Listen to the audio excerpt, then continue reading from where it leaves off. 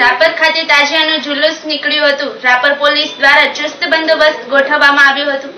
શહેરમાં આજે મોહમ્મદ પયંગબરના દોહિતર, ઇમામ હુસેન અને તેમના સાથીઓ દ્વારા અપાયેલ શહાદત નિમિત્તે ગત રાત્રે શહેરના મુખ્ય માર્ગો થઈને ગાંધી ચોક ખાતે રખાયેલ જેને આજે બપોરના શહેરની મેઇન બજારથી શરૂ કરાયેલ રાપર પોલીસ સ્ટેશન ખાતે આવેલ મહેબૂબ શાહ પીરની દરગાહ ખાતે સલામી આપીને માલી ચોક ખાતે કરબલાની યાદમાં તલવાર, છરા, લાકડીઓ, પિનોડે ખેલૈયાએ શહીદોને યાદ કર્યા હતા. સમગ્ર આયોજન હુસેની કમિટીના પ્રમુખ પ્રમુખ જુસબસા અલરખા સોઢા આદમભાઈ ગાંચી, ઓસમા ટાંક, હાજીભાઈ ખાસકેલી વગેરે આયોજન કર્યું હતું, જેમાં રાપર સુની મુસ્લિમ સમાજ પ્રમુખ ઇસ્માઇલ પણકા, નંદાસર સરપંચ ચાંદજી સમા નગરસેવક લાલ દ્રાયમા રાયમા જાનખાન બ્લોચ વગેરે આયોજને સફળતાપૂર્વક પાર પાડ્યું હતું.